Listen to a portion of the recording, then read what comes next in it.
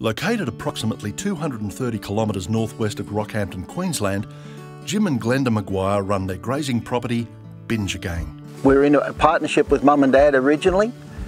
Dad died in 1984 and we split the properties up and we, we ended up with this one.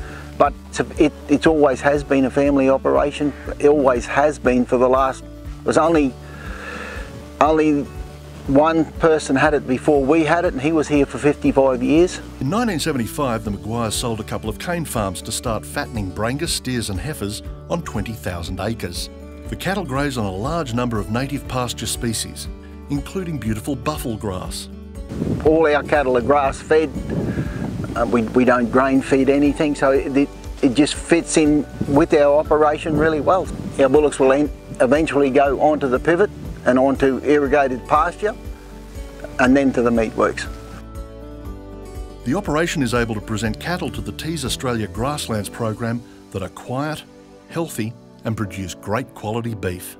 At the moment I've put some Angus bulls in with some of these breeders the Angus Brangus cross heifers will go back to a Brangus bull, so I'm hoping to put a bit more Angus into them. Might help a bit with our with our EU and our grasslands.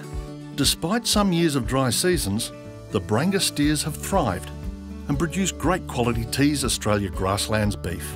You would have to say the, the biggest challenges you have here is seasonal. We have had some fairly dry years, but you just muddle your way through it, sell your, sell your cattle down, try not to sell your breeders because that's where everything comes from.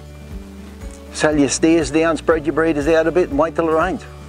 While Jim feeds his cattle hay, he takes time to check each of his animals to make sure they are all happy and healthy.